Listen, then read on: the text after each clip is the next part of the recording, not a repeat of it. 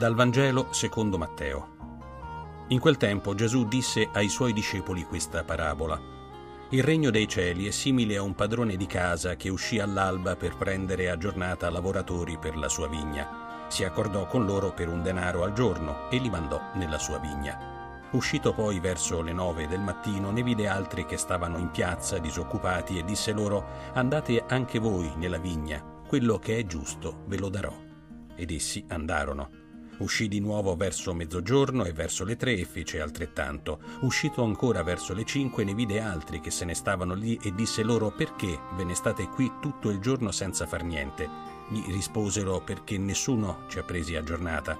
Ed egli disse loro andate anche voi nella vigna. Quando fu sera il padrone della vigna disse al suo fattore chiama i lavoratori e dà loro la paga, incominciando dagli ultimi fino ai primi. Venuti quelli delle cinque del pomeriggio ricevettero ciascuno un denaro. Quando arrivarono i primi pensarono che avrebbero ricevuto di più, ma anch'essi ricevettero ciascuno un denaro. Nel ritirarlo però mormoravano contro il padrone dicendo questi ultimi hanno lavorato un'ora soltanto e li ha trattato come noi, che abbiamo sopportato il peso della giornata e il caldo. Ma il padrone rispondendo a uno di loro disse Amico, io non ti faccio torto non hai forse concordato con me per un denaro? Prendi il tuo e vattene.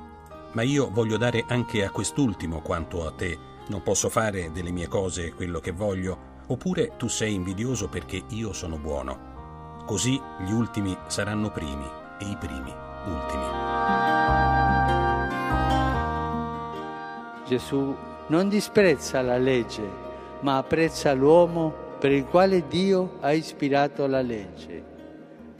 Infatti Gesù libera i sani dalla tentazione del fratello maggiore e dal peso dell'invidia e della mormorazione degli operai che hanno sopportato il peso della giornata e il caldo.